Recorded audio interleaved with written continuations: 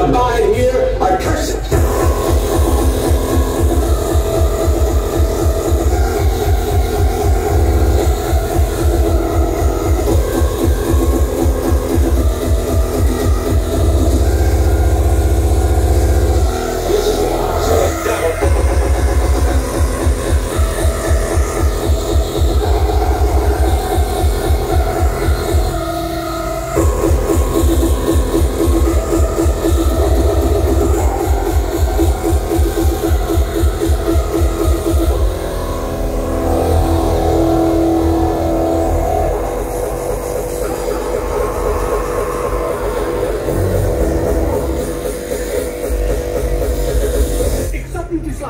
Ik had mijn ogen dicht gedaan, omdat ik het niet meer aan kon zien.